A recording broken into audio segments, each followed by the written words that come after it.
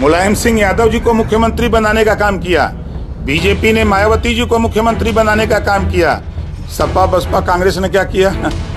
Loader बनाया। यहाँ leader बन रहे हैं। ये सत्ता से बाहर आते हैं तो बड़े लच्छेदार बोलते हैं। हम तो सुप्रीम कोर्ट के फैसले पर हम क्या कहें इन लोगों को? जनता के बीच में कहना चाहिए कि सुप्रीम कोर्ट ने कहा है कि कोटे में कोटा, यही ना है उसका, कि जो नहीं पाया उसको भी आरक्षण मिले। और ये प्रचार क्या कर रहे हैं? आप लोगों ने पूछा होगा, जो प्रदर्शनकारी थे, वो कह रहे हैं आरक्षण खत्म हो रहा है। सुप्रीम कोर्ट के खिलाफ आरक्षण खत्म हो रहा है, प्रदर्शन कर रहे हैं। यही तो चरित्र है। सत्ता में थे तो नहीं किए। एक बार पाँच साल मुख्यमंत्री अखिलेश जी खुद थे। और साठ साल कांग्रेस की सरकार थी। कभी जातिवाद जनगणना याद आई? आज ओबीसी याद आ रहा है। आज ओबीसी याद आ रहा है, एससी याद आ रहा है। कि सचिवालय में नहीं है, कौन जिम्मेदार है? ये कांग्रेस जिम्मेदार है।